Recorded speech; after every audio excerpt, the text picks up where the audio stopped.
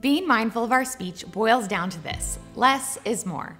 If you need to say something that may be painful to hear, distill the message down to the essential parts and omit the rest. The extra words will likely be negative emotion inducers, otherwise known as onus devarim.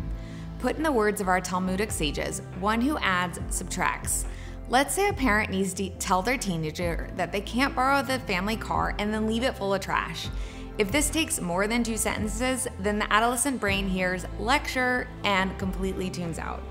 But this kind of attitude is not exclusive to teenagers. No one likes to feel lectured. If you feel like your conversation is becoming tense, bitter, or argumentative, take a time out, walk away, or ask for a break.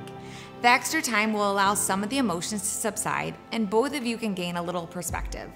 Thinking about what the other person is saying and feeling can be very helpful to regaining empathy.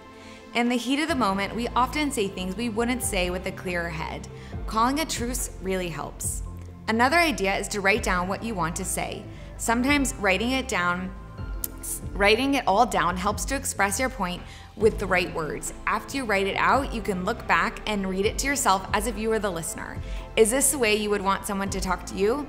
Are there any words or points you should remove or soften? Here's the thing if you're not sure whether or not your words will cause pain, just don't say them. Try this at home. Today, practice pausing before responding to a challenging conversation. My name is Wendy Margolin, and I'm keeping it clean.